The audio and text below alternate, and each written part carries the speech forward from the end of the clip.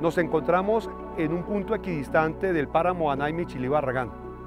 Para la Corporación Autónoma es supremamente importante la presencia que hemos hecho en el día de hoy en este sitio, precisamente porque hemos suscrito con los actores ambientales, los propietarios y los pobladores de esta área un documento de alianza estratégica en aras de consolidar el proyecto de formulación y adopción de la declaratoria del Parque Regional Anaime Chilí.